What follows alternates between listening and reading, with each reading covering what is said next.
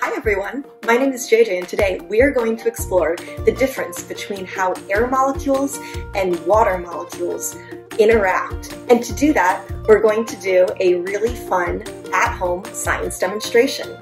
To do this demonstration, you're going to need two balloons, one that you're going to blow up with air and one that's going to be a water balloon, safety goggles, a barbecue lighter, and you'll want some adult supervision.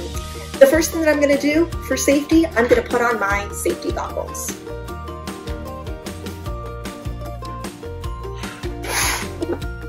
Perfect, so now, very carefully, we're gonna take our barbecue lighter and we're gonna see what happens when we apply a little bit of heat to this balloon.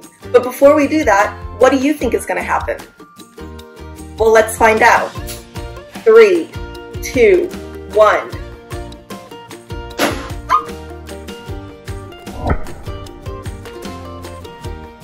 It definitely popped. We're gonna experiment, only instead of air, we're gonna use a water balloon. To be safe, I'm gonna use this container underneath in case the water pops. All right, three, two, one.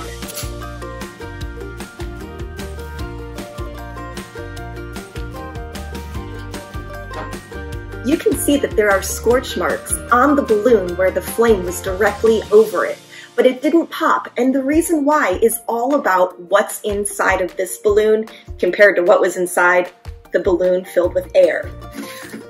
Air molecules are in a gaseous state, which means they're really activated and excited and they are moving all around really quickly. When heat is applied to them, they need more space to move around immediately. And because the balloon is trapping them, they get more and more excited until eventually they get so hot they have to pop out of the balloon.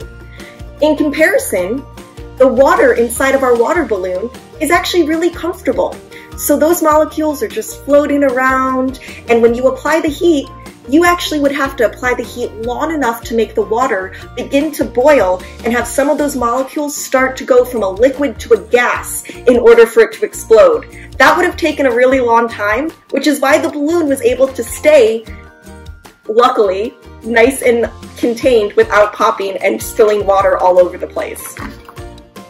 Well, that was our science experiment at home for the day. I hope you enjoyed that. My name is JJ. Until next time.